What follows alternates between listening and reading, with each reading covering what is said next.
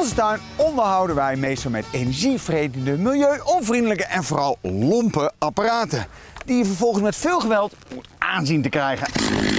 Oh.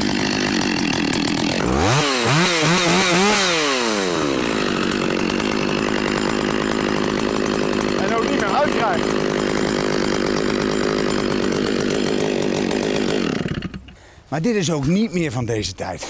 Let op, je hebt gelukkig tegenwoordig gewoon machines die werken met de accu. En deze accu past dan weer op meerdere elektrische apparaten. Hij start meteen.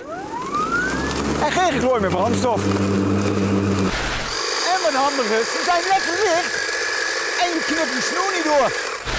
Nog een groot voordeel, ze maken meestal minder herrie dan die oude apparaten, maar ze hebben wel genoeg vermogen. Nou, dit is een leuke speelgoedshow. Sorry.